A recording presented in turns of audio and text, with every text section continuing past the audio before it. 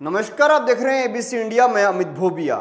दोस्तों, आज हम बात करेंगे सरसों की अच्छी किस्मों के बारे में। अभी हाल ही में आपने एक खबर सुनी होगी कि नई किस्में लॉन्च की गई हैं। उन नई किस्मों के बारे में तो आपको बताऊँगा ही बताऊँगा।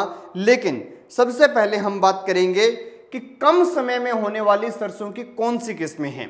फिर हम बात करेंगे गोभी सरसों की अच्छी किस्मों के बारे में। फिर हम बात करेंगे प्राइवेट कंपनियों की जो अच्छी किस्में हैं, उनके बारे में फिर हम बात करेंगे। जो भारतीय अनुसंधानों की आरच किस्म है, उसके बारे में और फिर हम बात करेंगे जो नई किस्में आई हैं, उनके बारे में। और फिर मैं अपना ओपिनियन दूँगा कि मेरे हिसाब से सबसे बेस्ट किस्म कौन सी है, जिसे हम अपने खेत के अंदर बोते हैं। खैर दोस्तों, वीडियो की शुरुआत करें, उससे पहले आप लोग चैनल को सब्सक्राइब कर लें बेल आइकन को दबा लें और उसी के साथ साथ मुझे इंस्टाग्राम पर जाकर फॉलो कर लें। लिंक डिस्क्रिप्शन में दिया गया है। तो दोस्तों, शुरू करते हैं। तो दोस्तों, सबसे पहले बात करते हैं कम समय में होने वाली किस्मों के बारे में। कम समय में जो किस्में होती हैं, वो है टी एस छियालीस टी एस छत्तीस एम सताईस पी बी टी सैंतीस टी एल पंद्रह और टी एल सत्रह। ये जो किस्में हैं, ये तकरीबन 90 दिन की किस्में हैं। 80 से 90 दिन के बीच में होने वाली किस्में हैं। इनके अंदर क्वालिटी ये है कि सितंबर के महीने में इनकी बुआई हो जाती है। सितंबर अक्टूबर नवंबर दिसंबर 15 दिसंबर से पहले पहले लोग इन्हें हार्वेस्ट कर लेते हैं और उसके बाद जो जल लेट बुआई वाली गेहूँ की फ़सल है, वो बो देते हैं। तो इससे लोग तीन फ़सलें जो साल की लेते हैं, वो काम पूरा कर लेते हैं। ज़्यादातर ये जो मैंने किस्में बताई, ये अरुणाचल प्रदेश के अंदर उगाई जाती हैं। क्योंकि आपको मालूम होगा, अरुणाचल प्रदेश के अंदर रवि और खरीफ का सिस्टम अपने यहाँ से बिल्कुल ही जुदा है मतलब एकदम उल्टा है। खैर, इनका नुकसान क्या है? नुकसान ये है कि ये तकरीबन साढ़े चार से साढ़े पाँच क्विंटल ही प्रति एकड़ होती हैं। लेकिन अच्छा है कि 90 दिन के अंदर हो जाती है। अब बात करते हैं गोभी सरसों की किस्मों के बारे में। इस गोभी सरसों के अंदर अच्छा ये रहता है कि इसके अंदर डबल ज़ीरो हाइब्रिड, यानी कि कानोला क्वालिटी जो है वो ज़्यादा किस्मों के अंदर मिल जाती है। उसके अंदर क्या होता है कि यूरिसिस करके एक एसिड होता है, अगर वो दो परसेंट से ज़्यादा है तो वो अपनी बॉडी को नुकसान पहुंचाता है। तो इन क्वालिटियों के अंदर क्या है, जैसे एक क्वालिटी है इसकी पी जी एस एच सत्रह सात, जो 2020 में आई थी, इसके अंदर यूरी, यूरिसिस एसिड जो है ये दो परसेंट से कम है। तो इसका फ़ायदा क्या होता है कि आपके शरीर के अंदर हार्ट अटैक की दिक्कत नहीं आएगी। अगर आप इस क्वालिटी का तेल, इस वैरायटी का जो तेल है सरसों का, वो खाएँगे। और इसके क्या है, टाइमली आपको बिजाई करनी पड़ती है और पानी वाले एरिया के अंदर ये होती है मतलब सिंचाई वाला एरिया होना चाहिए। वाइट रस्ट के अगेंस्ट ये लड़ सकती है और तकरीबन साढ़े आठ क्विंटल प्रति एकड़ की ये हो जाती है और लगभग एक दिनों के अंदर ये क्वालिटी जो है, वो तैयार होती है। तो मेन इसे खाने के पर्पज से उगाया जाता है कि खुद के यहाँ पर अगर आप सरसों का तेल निकलवाते हैं तो आप इसी वैरायटी को ही लगाएँ। खैर, दूसरी किस्म है जी एस सी सात।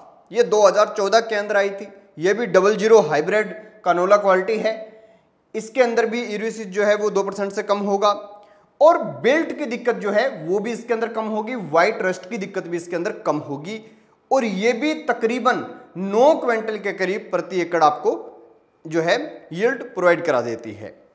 अब हम बात करते हैं प्राइवेट कंपनियों वाले सिस्टम की, यानी प्राइवेट कंपनियों की बेस्ट क्वालिटी कौन सी है?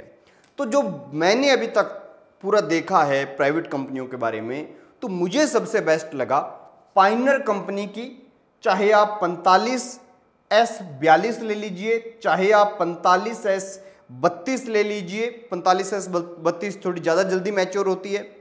और चाहे आप पैंतालीस एस छियालीस ले लीजिए, ये सभी जो हैं, ये तकरीबन 130 से 135 दिन की वैरायटियाँ हैं।